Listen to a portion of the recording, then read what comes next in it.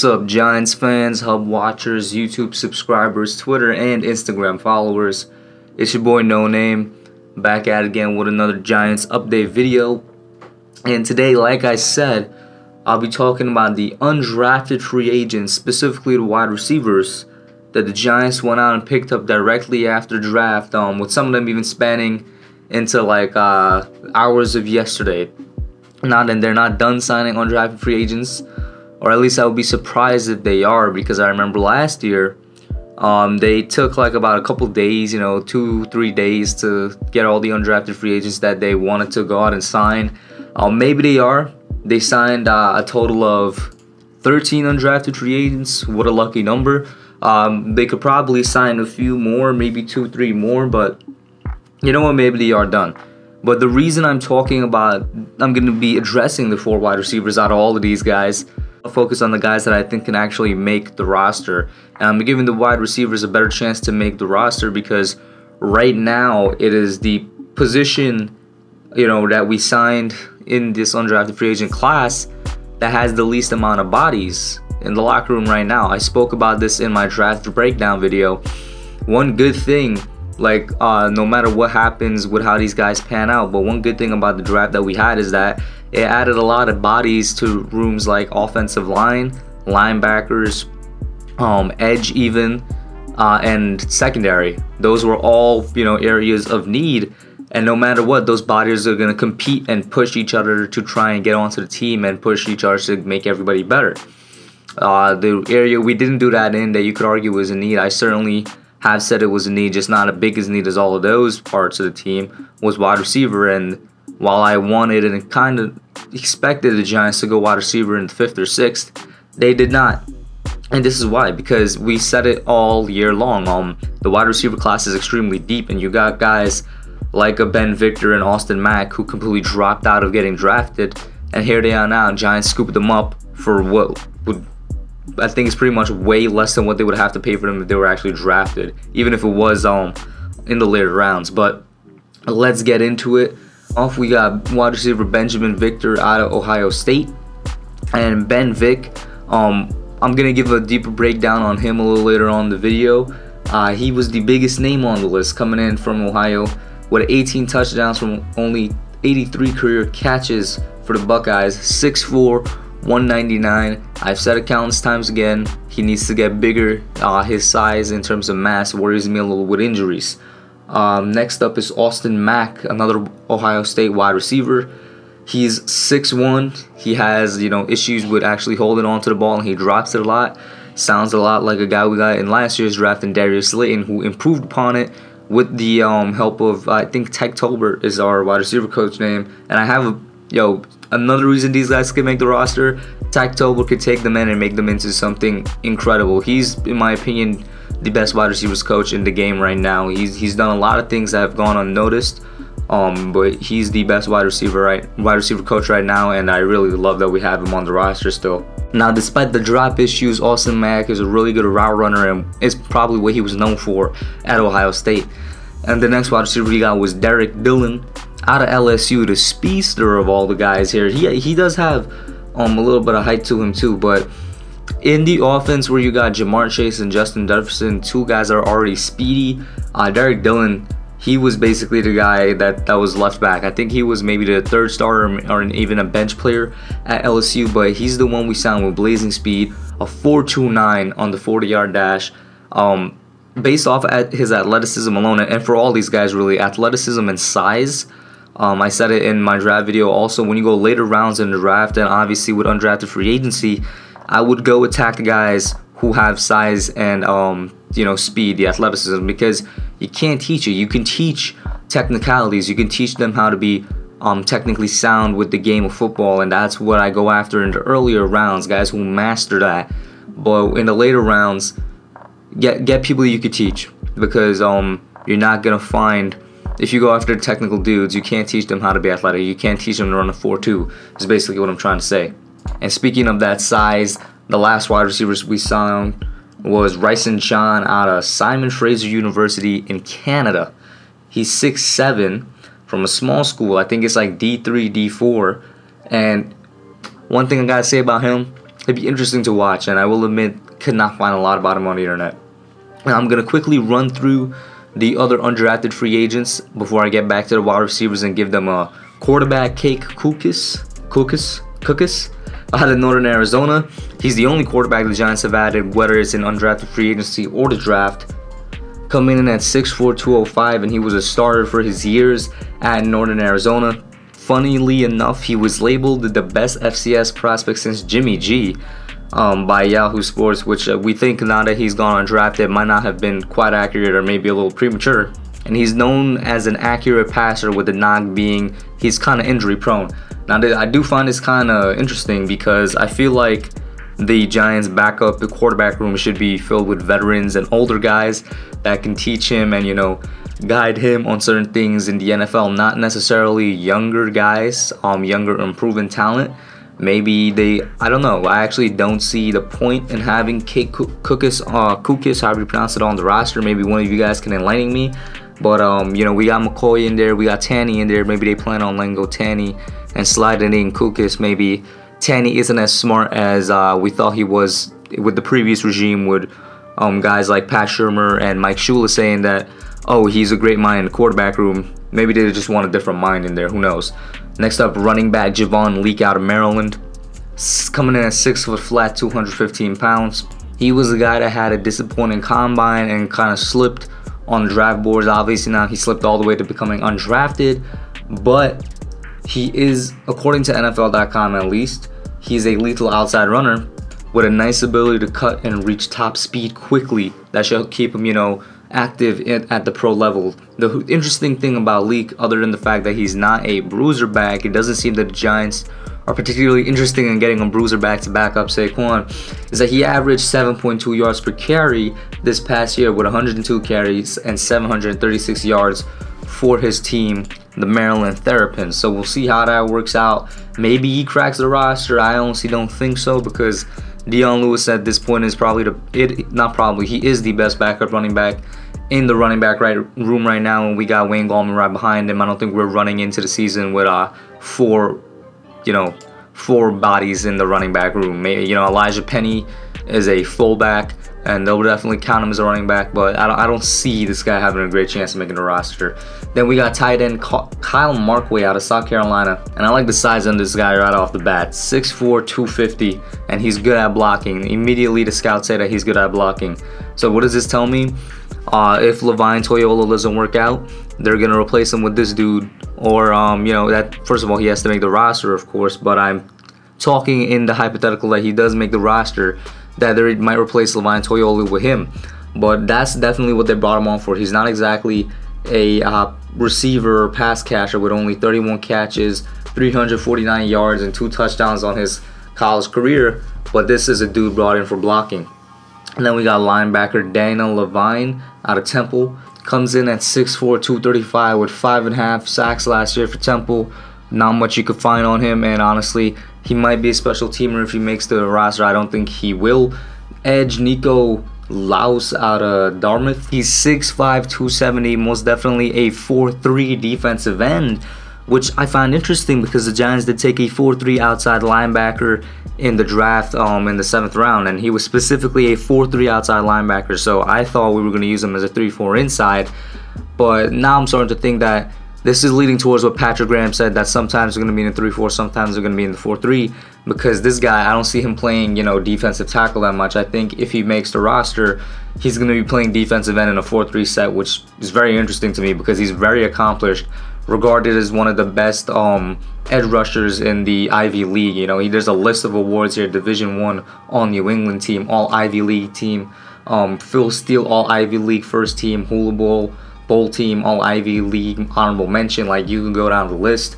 He has a lot of awards and is regarded as one of the best at the Ivies.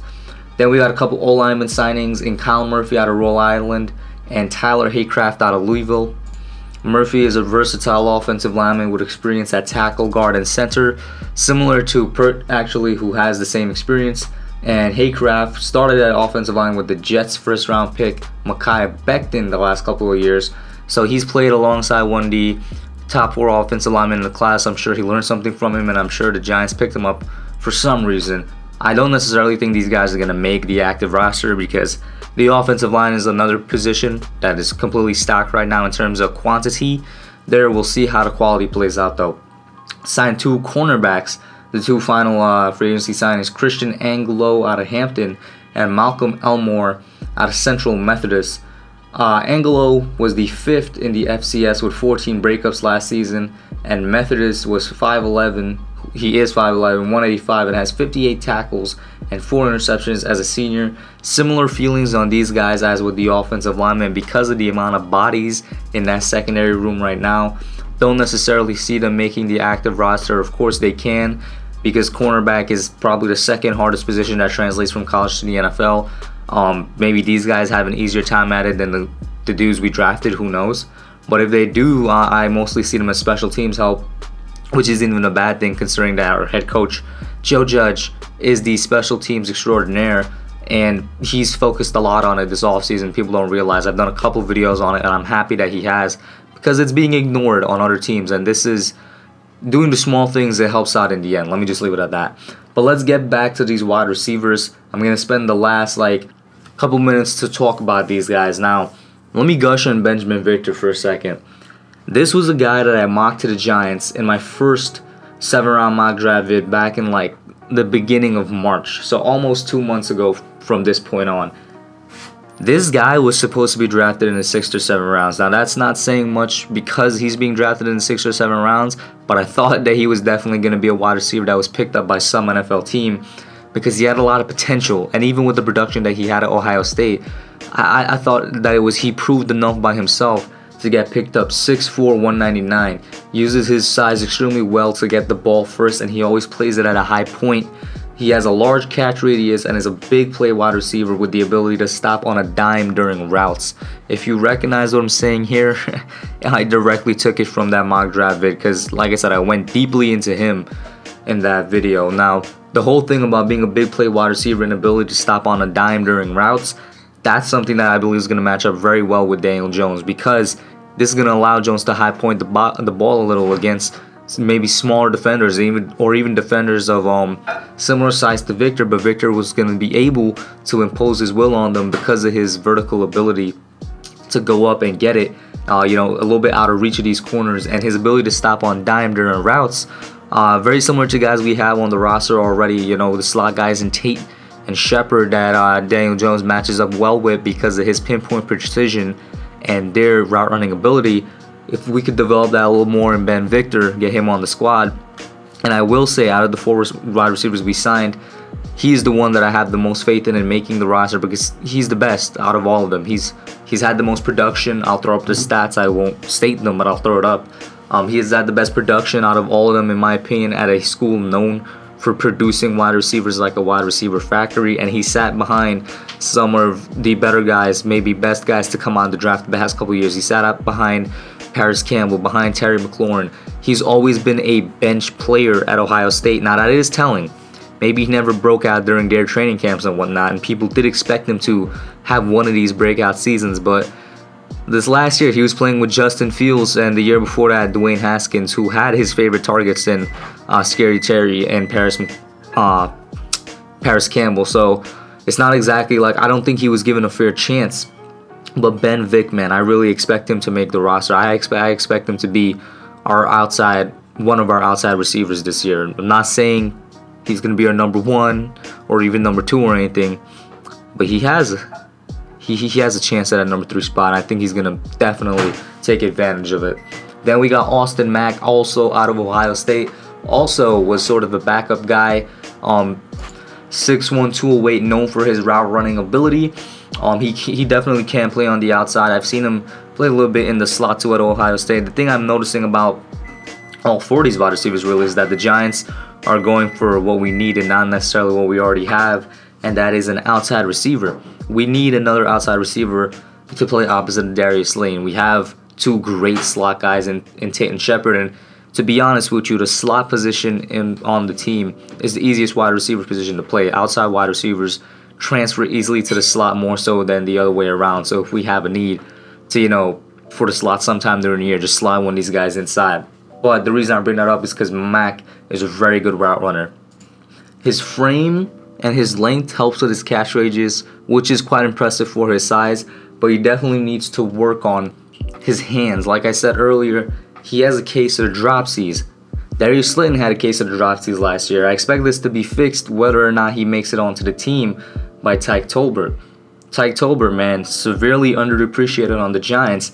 Darius Slayton coming in last year, his biggest problem was um, dropping the football. He could not hold on to it, and his hands were just for decoration. Then in the season, he was making crazy catches like he did during the Detroit game for touchdowns. So clearly, Tyke Tolbert is doing something right. Mack, he's the guy I think with the the second most. Uh, like they're gonna go in order. I think he has the second most potential to crack the to crack the roster, because also at Ohio State, like Ben Victor, he wasn't necessarily given the best chance to have a breakout season, even though people expected him to. And I feel like he's going to show out here, not necessarily saying that there's a guarantee he's going to make it, but I feel like he's going to show out and display his best skills, which are his route running ability, um, his vertical push, and his ability to absorb contact. Because when he does have his hand on the ball and he does have it secure, he's not letting it go. Now we got Derrick Dillon, wide receiver out of LSU, with the speedster of the bunch, 4-2 out of combine, and just for that alone, he has a good chance at making the roster. Now, the reason I'm not putting him above an Austin Mack is for two reasons. One, I think he's the smallest receiver of the bunch, 5'11, 174. If, if he's going to be 5'11, he's going to need to add on a lot of muscle if he wants to compete at the NFL level, in my opinion. But then we have no idea how that's going to hamper his speed. And he's also the oldest. He's 24. Now, concerned about the weight than anything because I don't really trust a wide receiver below like 180 to be on the NFL and be effective because he's gonna get injured unless he doesn't pack on a little bit more muscle. And then, like I said, I don't know how that affects his speed, which is his best asset. Here we got Rysen John, the biggest wide receiver of the bunch, 6'7, 227. Um, I will say this, I'm excited about him just because of his size. I mean, Jesus, 6'7, 227, that's going to be a monster on the field if he plays that wide receiver.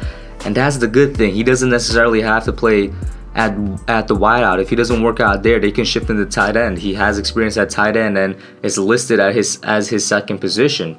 The thing is though, um, is that like uh like with Kyle Dugger from the safety position that I scouted him out, I have the same problem here is that Rysen John has immense talent. It's just that it's immense talent at a low level of competition, so it's hard to judge. Is he is he this great because he was playing at a Division three school, or is he just this great and he happened to be playing at a Division three school?